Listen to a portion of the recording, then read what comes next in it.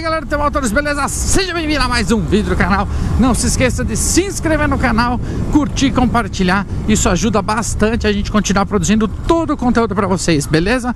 É, lembrando que galera, a gente precisa do número expressivo aí de inscritos Para continuar e produzir um conteúdo mais exato para vocês é, Mas na, no tempo certo Então é muito legal que vocês ajudem bastante a gente aí se inscrevendo no canal. Se você gosta desse tipo de conteúdo, passa pro seu pai, fala pra galera aí ajudar a gente, seus amigos, enfim. É, eu sei que é muito chato ficar pedindo isso, galera, mas infelizmente o povo que a gente trabalha necessita desses números, né? É, eu, na realidade, é lógico, quanto mais gente me assistindo, melhor. Mas o meu trabalho vai ser sempre a mesma coisa, sempre verdadeiro. O que vai mudar é que vai com, eu vou conseguir com muito mais qualidade o trabalho no que diz respeito à informação né, e tempo. É, na, na verdade, a informação não, a informação vai ser a mesma porque eu estudo o carro totalmente para passar para vocês. Mas quanto ao tempo, né? Lançamento de carro a gente consegue passar exatamente no lançamento. Como eu falei para vocês aí, é, como eu, em outros vídeos, né? As montadoras precisam bastante desses números expressivos para ela dar importância para vocês. Infelizmente, eu dependo somente disso, né? Eu não depende só do meu trabalho ser bom ou não. Elas precisam de resultados e o resultado para elas é o número. Isso aí, galera. Vamos lá, mais um dia indo embora do trabalho aqui. É, a gente vai falar do que hoje? Vamos falar de Volkswagen Taos, o novo lançamento da Volkswagen aí, mais novo lançamento e digo até consigo ser até um pouquinho mais é, Exato, eu acho que hoje a SUV, a montadora que mais entende de SUV aí é a Volkswagen, na minha opinião. É, carro do ano, Nivus, T-Cross também foi eleito, vende pra caramba, enfim. E agora, não diferente do que tudo vem acontecendo, a Volkswagen vai lançar também o Volkswagen. Vai lançar, não, está lançando o Volkswagen Taos. É, e Douglas, ela fica posicionada em que lugar? De, é, sabendo que a Volkswagen tem alguns aí SUV, Nibus, T-Cross e Tiguan, né? Galera, ela vai ficar localizada, né? Posicionada entre T-Cross e Tiguan. E o que, que muda isso no mercado da Volkswagen?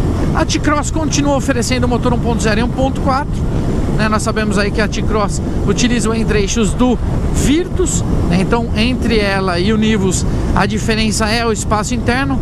O Nivus utiliza o entre-eixos do Polo, apesar de todos eles usarem a plataforma MQB, uma usa o entre-eixo de um e outra usa o entre-eixo de outro, certo? Então, Nivus entre-eixo de Polo e T-Cross entre-eixos de Virtus.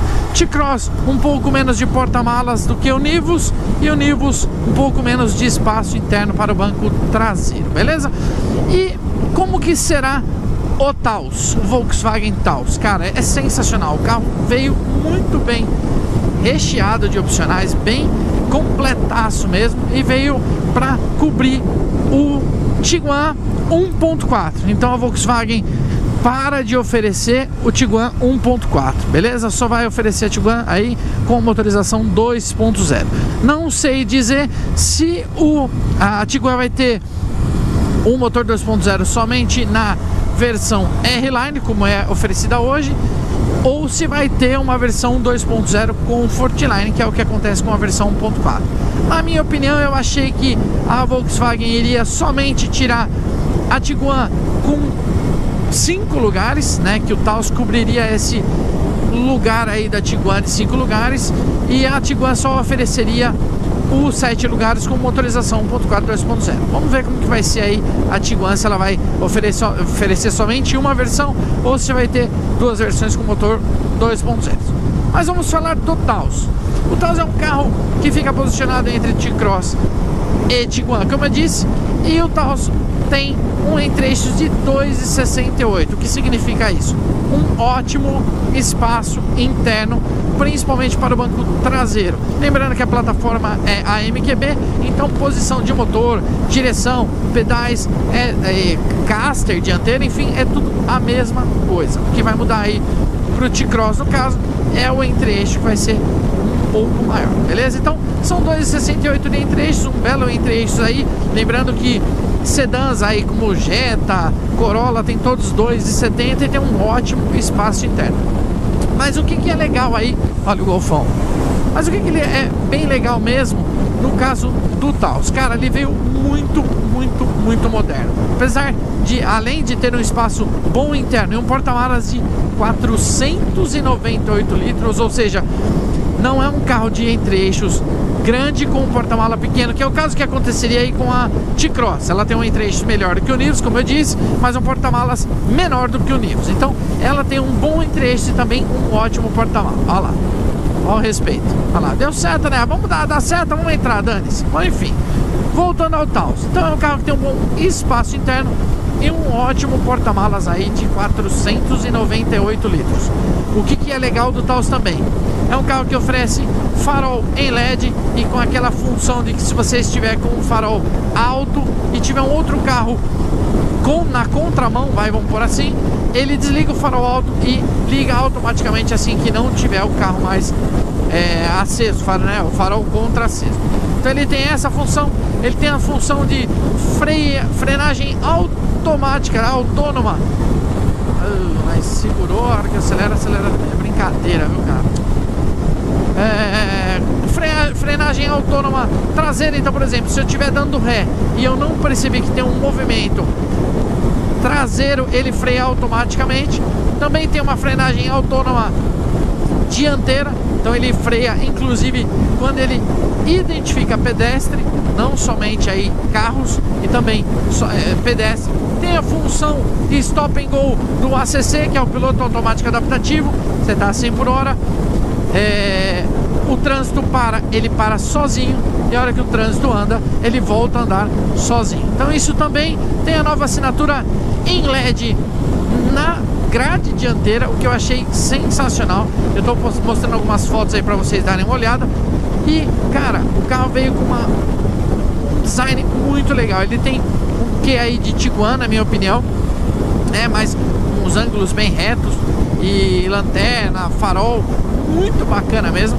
Teto solar, tem também o Volkswagen Play, que é a multimídia sensacional da Volkswagen, e também o painel digital da Volkswagen. A versão aí de apresentação oferece rodas de 18 polegadas e no geral o carro é sensacional, galera, sensacional. Black piano na parte da frente, black piano no teto. O carro, na minha opinião, veio muito, muito lindo, galera, muito lindo mesmo. E acho que vai cobrir muito legal essa, esse posicionamento que a Volkswagen deu, porque na minha opinião o T-Cross era muito longe do que era a Tiguan. Né? Então, é, o pulo de T-Cross para Tiguan era muito grande. Tiguan é muito maior e muito mais cara também, né? Olha aí. Veio. Ah, vamos lá, né, gente? Vamos lá. Olá. Por que que tava na esquerda então, né? Enfim. Então eu acho que ele veio para posicionar num posicionamento muito legal mesmo e que a Volks estava carente na realidade quando, você, quando o assunto era SUV. Né? Então o Taos veio muito bem posicionado, na minha opinião, com relação a isso. A gente não sabe valores ainda, né? É, e esse carro ainda não estão na, é, esses carros não estão na concessionária. Então não dá pra gente filmar pessoalmente. Lembra que eu falei para vocês dos inscritos de que as montadoras pedem números para né, para a gente gerar esse conteúdo. Então é isso. Se eu tiver um número expressivo de inscritos, a Volkswagen no Brasil me chama para fazer esse conteúdo e eu estaria passando um conteúdo totalmente diferente para vocês. Por isso que a gente pede tanta ajuda aí para vocês, beleza? Então é isso, galera. O carro foi apresentado já na internet, né? Teve uma apresentação e alguns é, algumas pessoas aí do meio já foram conhecer o carro, os canais maiores, né? E a gente vai conhecer assim que chegar na concessionária. E quando chega na concessionária, eu vou apresento para vocês, igualmente eu venho fazendo com os outros carros. E depois, quando o carro estiver disponível para test drive, a gente vai filmar para vocês e passar a nossa avaliação completaça e sem esconder nada, sem é, falar mal ou falar bem, enfim, não é puxar saco, não é uma, uma propaganda paga. Eu até às vezes é, leio alguns comentários assim, mas enfim, eu respeito, cada um é cada um, né? Eu acho que eu avalio os carros de acordo com o que a própria montadora propõe, então eu não posso é, cobrar de um carro esportividade se ele não é esportivo. Se ele entra no mesmo valor e o cara quer comprar ou um carro ou outro, eu pergunto qual que é a, a, ideia do cara. Se ele precisa de um comportamento esportivo, é claro que aí eu vou falar, realmente esse carro não tem um comportamento esportivo, não anda bem, não curva bem, ele é um carro macio, enfim. E aí eu diferencio ou critico ou eu falo mal do carro. E até aí eu vou falando mal assim, por exemplo, o Jetta não oferece saída de ar para o banco traseiro. Isso eu acho uma falha, e esse eu pontuo, né? É, poderia ter um acabamento melhor no painel se o carro é, é, é, cobrado mais de 200 pau, sei lá, né? Então, e assim vai, galera. Então, eu acho bem legal e tento ser o mais transparente possível para vocês. Por isso que eu peço tanta ajuda aí pra gente continuar produzindo todo esse conteúdo legal para vocês e verdadeiro, sem precisar se vender para falar de um carro ou de outro, beleza? Galera, é isso aí. Acho que falamos tudo do Taos. Será que falamos tudo? Aquela grade a gente falou, grade muito bacana com aquele LED que vende. É, ligam as lanternas né, e morrem no logo. Acho muito legal esse sistema carro é oferecido com farol de LED, lanterna de LED, teto solar, panorâmico, mesmo que acontece com o Tiguan e T-Cross, que não acontece aí com o Nivus, né?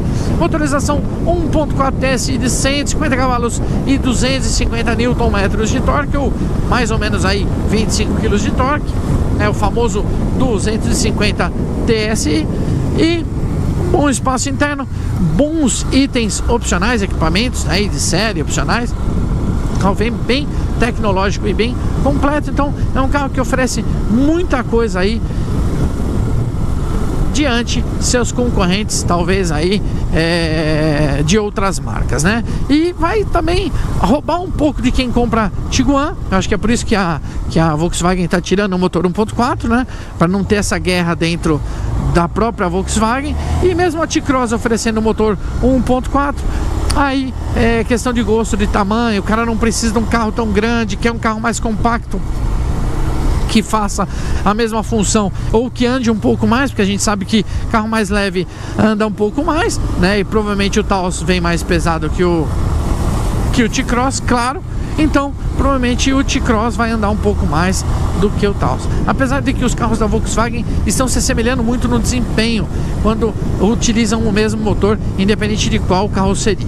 Galera, é isso aí. Vamos esperar agora a Germânica aqui de Campinas ter esse carro no chão. Eu já estou em contato com o André, com o gerente aqui do de Barão Geraldo, né? Que a gente vem filmando os carros.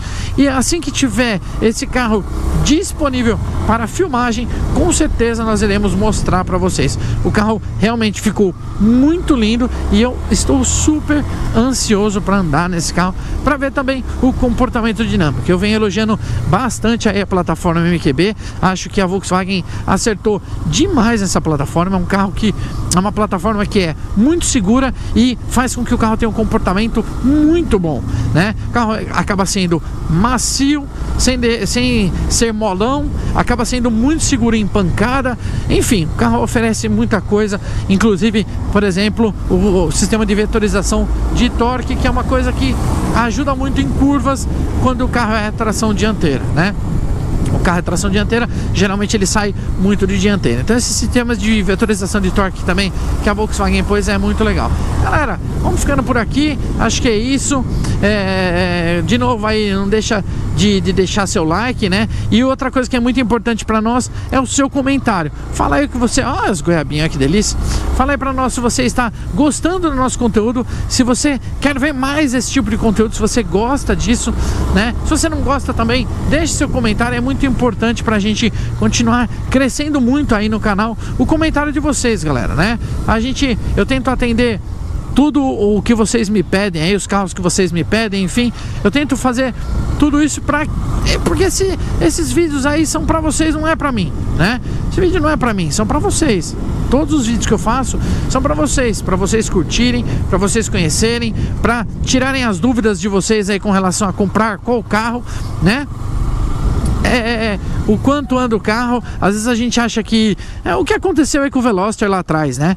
Ah, o carro é muito forte, anda pra caramba. Aí quando você põe na real, o carro é bem xoxo né? Foi o que aconteceu exatamente com o Veloster. Então, quando a gente faz o teste de 0 a 100, por exemplo, é justamente para vocês verem se o carro tem toda essa força que eles falam mesmo, se é, é exatamente isso, não para tirar racha, não para isso, porque também é, uma, é um efeito de comparação para ver se o motor está mais forte, se está mais fraco, se o motor é legal, se não é, se numa ultrapassagem ele te atende, enfim, e assim vai, galera. E assim vai. Bom, é isso aí, galera. Espero que vocês tenham gostado de todo o nosso conteúdo aí, de todo o nosso vídeo, do assunto. Como eu pedi, como eu falei, deixe seu comentário aí pra gente é, melhorar cada vez mais. E lembrando que sempre o cinto de segurança celular não combina com direção. Se beber, não dirija. E autódromo é sempre a melhor opção para acelerar, tanto de moto quanto de carro, beleza? Quer fazer uma drag race? Vai no autódromo ou vai numa pista particular aí para não termos problemas. A gente teve recentemente um acidente de novo aí na Bandeirantes. É, é difícil, a gente sabe o carro, mesmo sendo seguro, a gente depende de N fatores, N fatores. Então, é, a melhor opção, galera, é autódromo. Não tenho o que falar, beleza? Até o próximo vídeo, então. Valeu, fui!